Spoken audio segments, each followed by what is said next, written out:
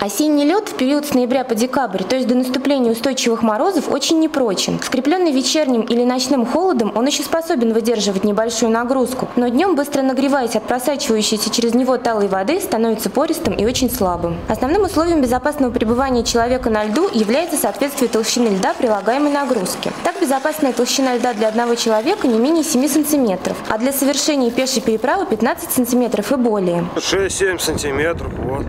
7 сантиметров всегда ходили. Я вот первый раз вышел еще посмотреть.